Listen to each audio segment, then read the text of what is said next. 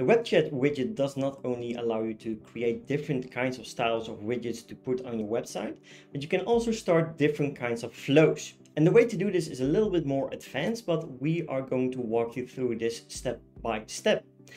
The first thing that you will need are different kinds of flows inside your chatbot. So what I did for this video is I just created flow one, which just has a block with hello, how can I help? And flow two will be a, this is a product flow. So this could be a sales flow for a specific product. And flow one is hello, how can I help? And this could be some kind of customer support related query. So how to trigger these two different flows? If we take a look at the web chat widget itself, you will notice that at the beginning, you will be able to set a default starting flow. And I just set it towards the main flow for this example purpose. If we take a look at this example where I just pasted in the flow model, right? we will see something like this. So, hey guest, it is great to see you here. Would you like to continue towards the fun parts or did you have a question for us? So this is the main flow that is being triggered. But you can also trigger these two other flows. So you can also trigger flow one and flow two.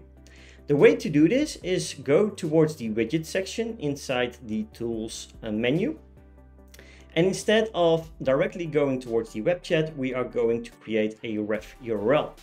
We could name this any kind of name that we like to. So this is just for the widget name. So let's say this will be flow1.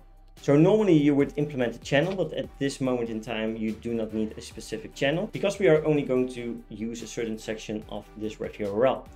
The thing that we are going to do is we are going to connect this towards flow1 and then we are going with a custom ref parameter. So what we could do here, we could just say flow1 in this case, but it could mean anything, right? So you could also say, and the only thing that you need to copy here is the custom ref parameter. So what we are going to do now, we are going to copy this ref parameter and we're going to save this ref URL. Inside the script itself, the only thing that you need to add now is the following text. And we will also put this inside the video description and on the page itself. But the only thing that you need to add is a question mark, ref equals, and then your pasted value of your ref parameter. And if the script reloads now, and it could take a few seconds, there we go.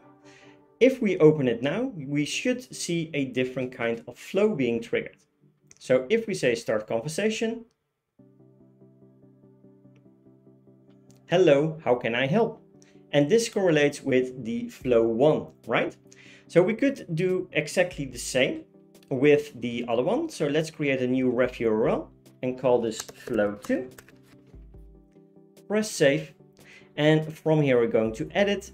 And let's say this is called product.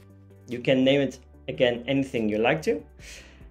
And then we're going to connect the opt-in flow towards flow 2 we're going to copy this ref parameter and we're going to save this. Inside the script itself, the only thing that you're now going to replace is the ref parameter. So instead of question, we're now going to go with product. And if this reloads, takes a few seconds to implement. And if the script reloads, we're going to take a look if the correct flow is now being triggered. This is a product flow, so this correlates with flow 2. But you can go a little bit further than this even. So what you could do here is you can also use payloads inside of this custom script.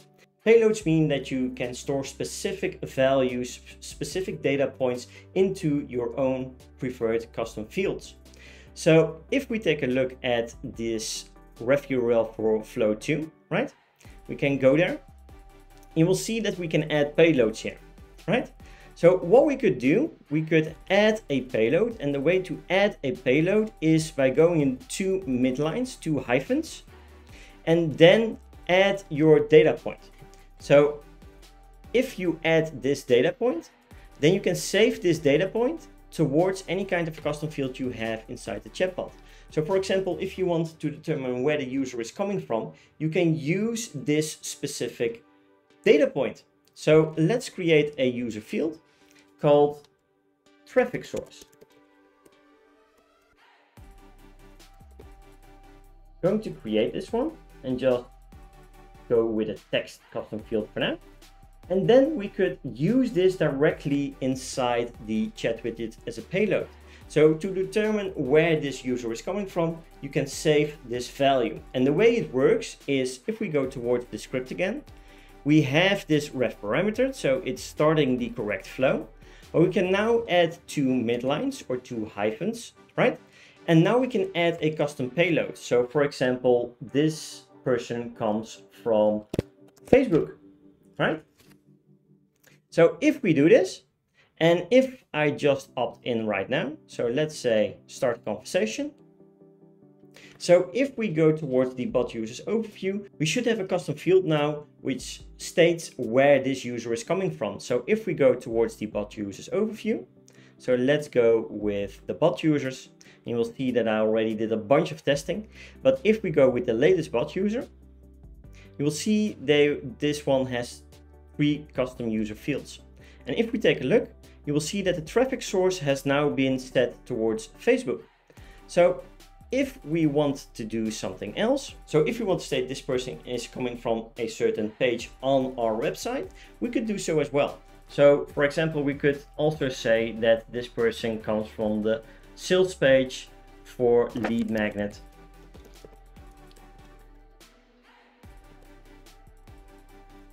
ebook.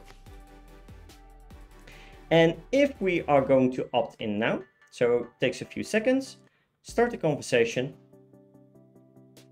And if we take a look at the bot users overview right now, if we press reload, we will see that a new user has been created. And if we take a look at the custom user field, you will see that we now have the traffic source lead magnet ebook. You can save up till 10 different kinds of payloads. So it's totally up to you on how to use these payloads to your own advantage to save certain data points, where a user is coming from, and maybe some specific data about the page, right? You can determine the payloads yourself, but this is the way that you can use payloads inside your web chat widget. If you want to add another payload, you would just add two more midlines or hyphens and then from here, you will be able to add another data set. Just be sure that you add that payload, that second payload, inside the ref URL that you connected.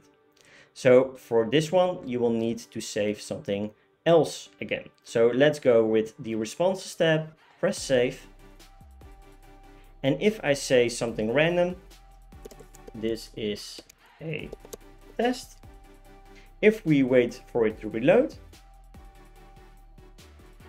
there we go. And we opt in right now. This is a product flow. If we go towards bot users, press refresh and go with the custom user fields, you will see that we have the traffic source lead magnet ebook and we have the response custom field set at this is a test. So this is a little bit more of an advanced section of the web chat widget, but it will allow you to set up different kinds of flows on different kinds of pages, as well as save payloads towards the specific custom user fields that you set up inside of your ref URL.